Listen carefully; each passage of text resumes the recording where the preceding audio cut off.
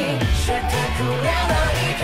Hola, soy Bash y hola amigos, bienvenidos una vez más a nuestro canal. Y bueno, el día de hoy, como podrán ver en el título del video, a pesar de que no tenemos manga, así es, traemos un nuevo video de Jujutsu Kaisen. Y en esta ocasión estaremos hablando de un tema extremadamente interesante, ya que sí, el tema es el mismísimo Satoru Gojo, el hechicero más fuerte, o al menos el que antes era el más fuerte, ya que sí, sorpresivamente, hace poco obtuvimos varias curiosidades al respecto de este increíble personaje, debido a que se reveló el booklet oficial de Gojo, en el cual en efecto tenemos 33 preguntas con respecto al personaje, además de algunos datos adicionales sobre él. Debo reconocer que a pesar de que hay muchísima información muy random y sin tanta importancia, también hay revelaciones muy importantes, y bueno ya estaremos platicando y comentando todo lo que se reveló en este booklet, así que si son fans de Gojo quédense a ver el video. Y ahora sí, sin nada más por añadir, comencemos de una vez. Y bueno, la primera pregunta nos dice, ¿de dónde es él? Confirma informándonos que es de Kioto. La segunda pregunta dice, la casa principal del clan Goyo también está ubicada en Kioto, a lo que se nos confirma que sí, también la casa del clan Goyo está en Kioto. La tercera pregunta dice, aunque Goyo usualmente habla en japonés estándar, a veces usa el dialecto local en su ciudad natal, a lo que Jeje responde, no es probable, ya sea que de niño lo llevaran a misiones como parte de un entrenamiento de hechicero de élite de los tres grandes clanes, o simplemente se mudó a Tokio cuando era pequeño Aquí más que nada nos hablas sobre los diferentes dialectos que hay en Japón. Pero bueno, la pregunta 4 nos dice, ¿fue deseo de Gojo ir a la escuela de hechicería o fue porque su familia se lo dijo? A lo que Jeje responde, fue el deseo de Gojo, estaba harto de su familia dominante. Y bueno, esta pregunta sí es muy interesante, ya que se nos demuestra cómo en su pasado Gojo no estaba tan a gusto en el clan, y esta es una de las razones por las que a final de cuentas decidió ir a la escuela de hechicería. Por otro lado, la quinta pregunta y una de las más importantes se nos dice, los padres de Goyo todavía están vivos, son hechiceros de alto rango, a lo que Jeje confirma que están vivos y se ganaron un estatus alto dentro del clan Goyo al dar a luz a Goyo Satoru, pero no son particularmente fuertes como hechiceros, por lo que fueron separados de Goyo a una edad temprana, porque no pueden involucrarse en su educación como hechicero, y bueno, sin duda alguna, esto es muy importante, ya que de primera instancia se nos confirma en efecto que los padres de Goyo se encuentran vivos, aunque lamentablemente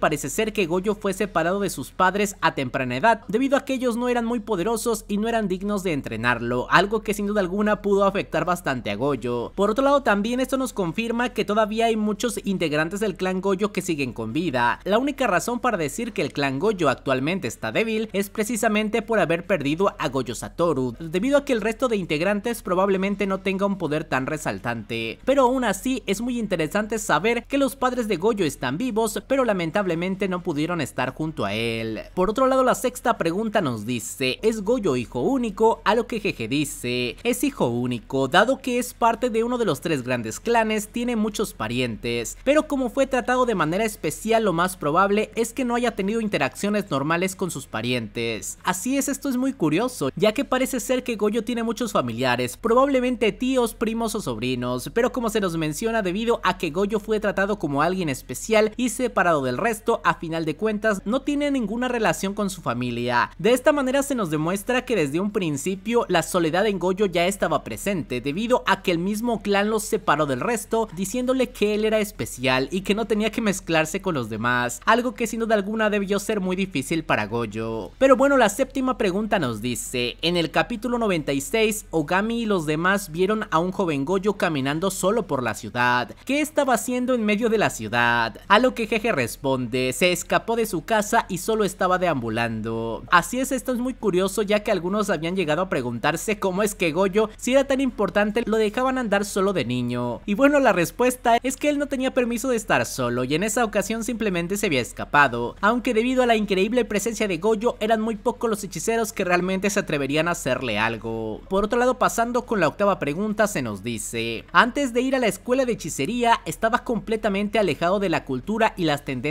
mundanas, a lo que Jeje responde, no realmente, aunque su entrenamiento como hechicero y su educación como miembro de uno de los tres grandes clanes se implementaron de manera rígida, a menudo se escapaba, así que tuvo una buena cantidad de diversión. Y bueno, esto es bastante genial, ya que como se menciona, a pesar de que eran muy estrictos con él, pues él se escapaba y conocía un poco más del mundo, ya que hay que recordar que en una ocasión Goyo incluso hace una referencia a Digimon, por lo que supongo que aprovechaba sus escapadas para conocer más acerca del anime y otras cosas. Pero bueno, pasando ahora con la novena pregunta se nos dice, antes de entrar a la escuela de hechicería, realizó misiones, además, tuvo alguna experiencia luchando contra maldiciones y exorcizándolas, a lo que Jeje responde, sí, tenía bastante experiencia. Y bueno, en este punto se nos muestra que en efecto el entrenamiento en el clan Goyo no era cualquier cosa, ya que al parecer antes de entrar incluso a la escuela de hechicería, ella realizaba misiones y acababa con maldiciones, por lo que se nos confirma que obviamente en el clan Goyo donde recibió la mayor parte de su formación, o al menos formación suficiente para tener un poder bastante rescatable. Y bueno, pasando a la décima pregunta se nos dice, los uniformes de la escuela de hechicería pueden ser personalizados por cada estudiante, pero ¿cuáles son las preferencias específicas de Goyo? A lo que Jeje dice, Goyo tiene un uniforme bastante sencillo y no lo ha personalizado mucho. El uniforme de Geto por otro lado te hace preguntarte cómo se le ocurrió la idea de hacerlo así. Pero bueno, ahora pasamos con la onceava pregunta que nos dice, en sus días de escuela secundaria Goyo tenía una idol como fondo de pantalla, siempre tuvo a una idol, a lo que Jeje responde, eventualmente dejó de usarla porque Ieri se burlaba de eso, además probablemente no era tan fan. Y bueno, es curioso que Goyo tuviera su idol, pero como nos menciona Jeje tampoco era tan aferrado a eso. Y ahora la pregunta 12 nos dice, vivió en los dormitorios estudiantiles en la escuela secundaria, a lo que Jeje confirma que sí lo hizo. La pregunta 13 nos menciona, durante sus días en la escuela secundaria sus gafas redondeadas eran su marca registrada, pero las tenía antes de entrar en la escuela secundaria de hechicería, a lo que Jeje dice, usaba gafas de sol para evitar ver demasiado con sus seis ojos, así que es natural que las tuviera antes de la secundaria, pero odio imaginar a Goyo en la escuela media con gafas de sol, así que mejor no pensemos en eso. Y bueno, esto es bastante gracioso, Jeje no se quiere imaginar a Goyo niño con gafas. Pero bueno, la pregunta 14 ahora nos dice, ¿cómo lo veían sus senpais? ¿Tuvieron alguna interacción? A lo que Jeje dice, probablemente no muchas, es miembro de los tres grandes clanes y además es un estudiante de primer año muy fuerte, por lo que probablemente era difícil acercarse a él. Por otro lado, la pregunta 15 nos menciona, ¿tiene un mentor en hechicería? A lo que Jeje responde, los conceptos básicos de la hechicería se complementaron dentro de la familia de Goyo, por lo que probablemente tuvo un mentor allí. En cuanto a su técnica, tuvo que trabajar duro por su cuenta basado en los registros que quedaban. Y bueno, esto es bastante interesante, me habría fascinado conocer quién fue el maestro de Goyo. Creo que sin duda alguna tendría que haber sido el mejor hechicero del clan Goyo, obviamente después del propio Goyo, por lo que habría sido genial verlo en algún momento. Aunque bueno, como Jeje confirma, a final de cuentas, lo que llevó a Goyo a ser el más fuerte es que él solo tuvo que desarrollar su propia técnica, por lo que tampoco es que su maestro fuera tan poderoso. De cualquier manera, mínimo sí me imagino a alguien como Kusakabe God enseñándole a Goyo. Pero bueno, pasamos ahora con la pregunta 16 que nos dice, ¿cuánto es la tarifa por misión de Goyo? Además, ¿cuáles son sus activos personales totales? A lo que Jeje responde, recibe un salario mensual, por lo que no recibe su salario como un pago único. Mei Mei es una excepción, como hechicero de grado especial probablemente gana un salario comparable al de un ministro. Además, como jefe del clan Goyo, tiene considerables activos de ello también. En cualquier caso, Goyo es rico.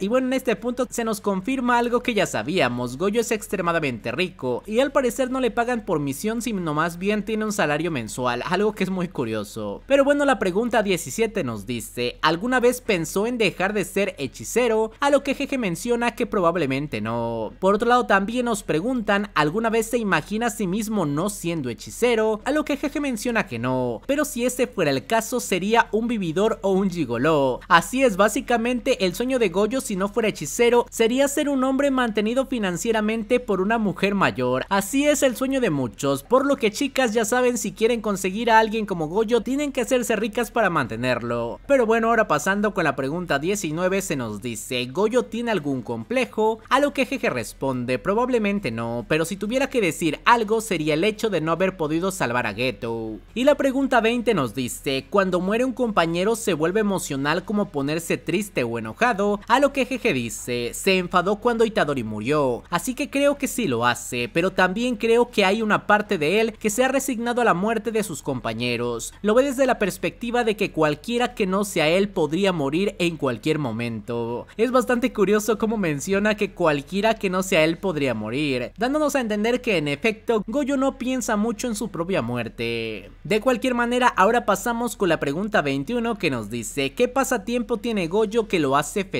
A lo que Jeje menciona, no puedo imaginarlo realmente, pero probablemente es feliz cuando conoce a alguien con talento como hechicero. Por otro lado, la pregunta 22 nos menciona ¿puede Goyo hablar algún otro idioma además del japonés? A lo que Jeje dice, probablemente puede hablar un poco de inglés. Y ahora la pregunta 23 nos menciona ¿qué pasa cuando accidentalmente bebe alcohol con el que no es muy bueno? A lo que Jeje dice, se queda en blanco al instante, pero el verdadero problema es que la salida de su técnica comienza a fallar. Y así es, parece que una de las maneras para derrotar a Goyo es con el alcohol. Sería bastante interesante que alguna vez se nos mostrara a Goyo estando borracho. Pero bueno, pasando con la pregunta 24 se nos dice, ¿tiene licencia para conducir un coche o una moto? ¿Conduce él mismo a veces? A lo que Jeje dice, muy poco probable, incluso si tiene una probablemente pasaría con una sola prueba y se convertiría en conductor solo de papel. Así es directamente a pesar de que Goyo tuviera permiso de conducir, pues no lo usaría. Hay que recordar que incluso puede teletransportarse, así que esto no es tan necesario. Pero bueno, pasando a la pregunta número 25 se nos dice, nacido y criado en la alta sociedad y reconocido como el más fuerte por él mismo y por los demás, parece haber vivido muchas inconveniencias, ¿cuál cree que es su debilidad? A lo que Jeje confirma que es su personalidad. Por otro lado la pregunta 26 nos dice, ¿cuál cree que son las verdaderas fortalezas esenciales de Goyo Satoru más allá de sus habilidades innatas y ventajas biológicas? A la que una vez más Jeje menciona que su personalidad. Y es bastante curioso cómo Jeje menciona que su personalidad es tanto su fortaleza como su debilidad. Yo supongo que más que nada se refiere a que su misma personalidad y el hecho de que él mismo crea que es el más fuerte tiene repercusiones tanto positivas como negativas. Es decir, al Goyo tener en la mente que es el más fuerte, este no simplemente quiere serlo, sino que hace lo necesario para convertirse en tal. Pero también el hecho de creer que es el más fuerte en ciertos momentos hace que este tenga exceso de confianza, por lo que también podría ser su debilidad al mismo tiempo. Pero bueno, pasando con la pregunta 27 se nos dice, probablemente puede hacer casi cualquier cosa. Dijo eso antes sobre él, pero cocina a menudo. A lo que Jeje menciona, no es que no pueda cocinar, pero no cocina muy a menudo. Por otro lado también se nos dice, tenía una camisa de 250 mil yenes, pero tiene alguna preferencia especial en sus artículos personales, tiene alguna preferencia en la moda. A lo que Jeje dice, da la impresión de entrar a una tienda cara, comprar cosas sin mirar la etiqueta de precio y después de ver su precio elevado piensa, bueno, está bien y lo repite de nuevo. Así es básicamente debido a que Goyo tiene tanto dinero, él simplemente elige lo que le gusta de cualquier tienda y lo compra, sin importar cuánto pueda costar. Y ahora pasando con la pregunta número 29 se nos dice, ¿le gustan las montañas o la playa? A lo que Jeje confirma que probablemente la playa. También se le pregunta, ¿perros o gatos? A lo que Jeje menciona, parece que le gustarían los gatos, pero creo que le gustan más los perros. Así es chicos, Goyo es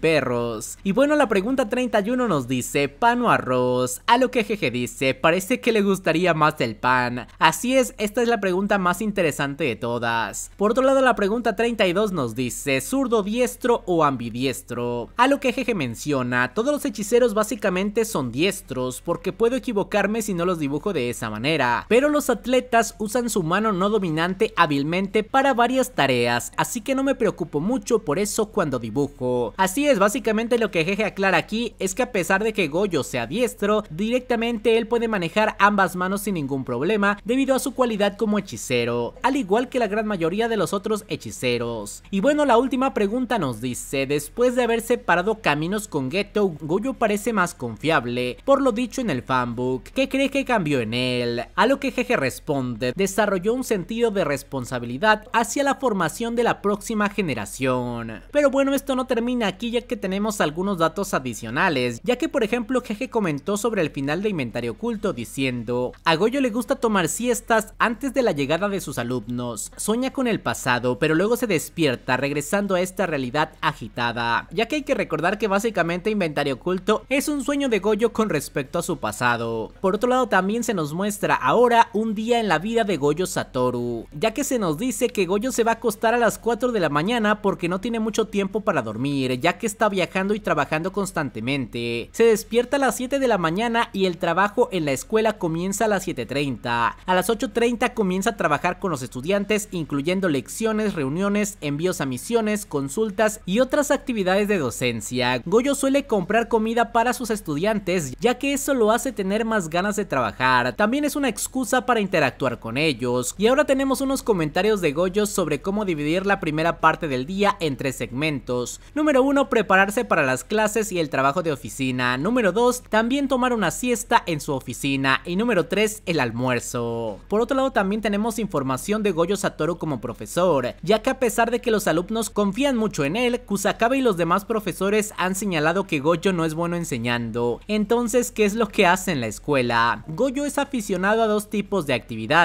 Número 1, sesiones prácticas, donde demuestra las cosas tal como son. Un ejemplo, eso en su batalla con Yogo, donde llevó a Itadori al dominio del oponente para que pudiera ver todo de primera mano. Y número 2, sesiones individuales, que Goyo nunca rechaza, al contrario, anima y siempre está dispuesto a ayudar a sus alumnos con preguntas personales, como lo demuestra en su entrenamiento con Fushiguro. Y bueno, por último también se nos muestra la ficha de personaje de Goyo Satoru, en donde tenemos información bastante interesante, pero no lo voy a leer todos. De cualquier manera, el diseño de Goyo en esta imagen se ve bastante cool. Y bueno, ahora sí, de esta manera hemos terminado con el video. Me encantaría que me dejen sus opiniones al respecto de toda la información revelada sobre Goyo, qué fue lo que se les hizo más interesante. ¿Ustedes sabían si Goyo prefería pan y arroz? La verdad es que ese dato me dejó completamente sorprendido. Pero bueno, ahora sí, de esta manera terminamos el video y antes de despedirme, quiero agradecer a todos los miembros del canal que siempre nos están apoyando. Y muchas gracias a los dioses Ayrton Peralta, Gonzalo Salazar, Gustavo, Eldusabe y Sebastián Betancourt. Y ahora sí, sin nada más por añadir, adiós.